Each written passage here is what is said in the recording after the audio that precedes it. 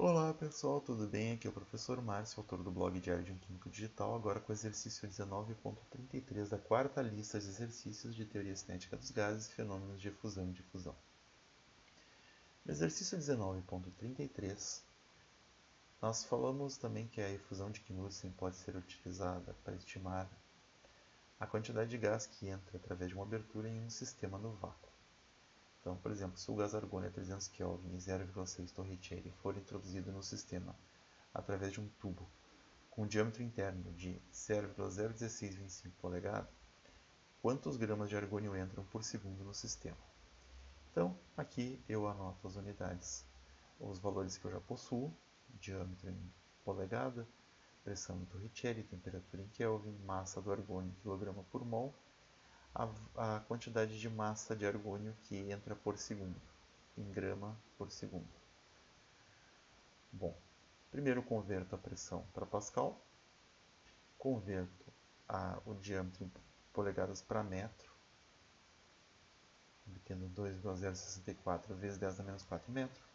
Calculo a área da seção reta do furo, 1,338 vezes 10 a menos 7 metros quadrados e estima a massa de um único átomo de argônio a partir da massa molar. Divido o valor 39,948 vezes 10 a menos 6 kg divido por 6,0221 vezes 10 a 23. Obtenho este valor aqui, 10 a menos 26 kg.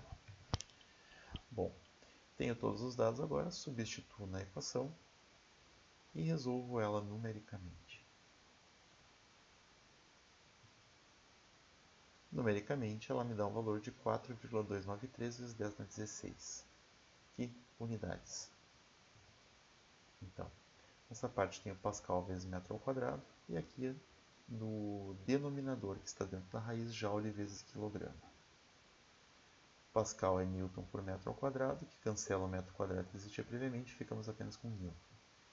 O Joule aqui é Newton vezes metro, multiplicado por quilograma, ficamos com quilograma ao quadrado, metro ao quadrado por segundo ao quadrado, que extraindo a raiz ficamos com segundo sobre quilograma vezes metro.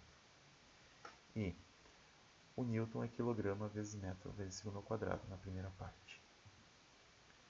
Ele, esse valor aqui, multiplica este outro valor aqui, e resta então segundo sobre segundo ao quadrado ou segundo na menos 1, que é a unidade que nós queríamos. Bom, mas o problema pede a taxa de massa de argônio que entra por segundo no sistema. Então, como não aparece a, a unidade de átomos, eu vou escrever ela explicitamente aqui. Ok? Então, 1 mol ou 6,0221 vezes 10 a 23 partículas de argônio equivale a 39,948 gramas.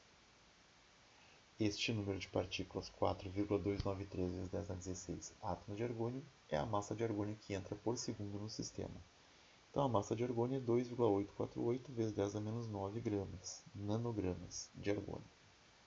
Então, a taxa de massa que penetra na linha de vácuo é de 2,848 vezes 10 a menos 9 gramas de argônio por segundo.